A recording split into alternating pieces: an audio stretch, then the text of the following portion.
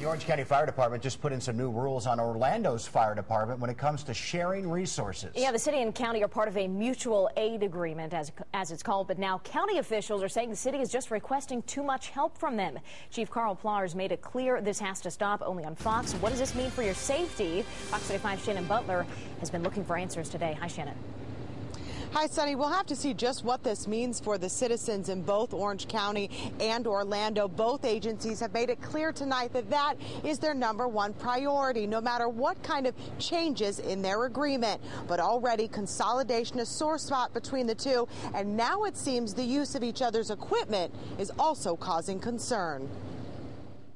The Orange County Fire Chief sent this letter across county lines to the Orlando Fire Chief saying he's concerned about some of the city fire department's practices. In the letter, it says Orlando Fire is requesting EMS services when it's not life threatening. OFD is requesting help from rescues on a frequent basis, and OFD is requesting county rescue trucks when there's an available city rescue truck. Fire Chief Carl Plaugher says those days are over. The letter comes just before Orange County Fire will take on transportation services instead of using private ambulances, saying it saves them more than a million dollars a year. It also comes after a tough budget year.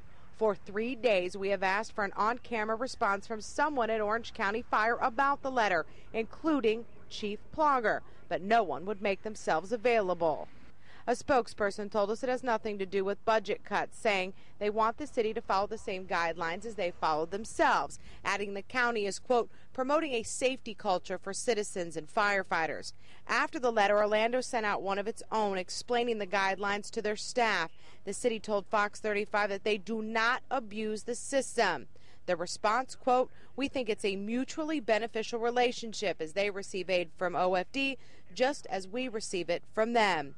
We checked the calls between the two agencies. Orange County received aid from the city for 77 hours since January. Orange County requested 81 hours from the city unit, just about even. As for the citizens, they don't care about the fighting.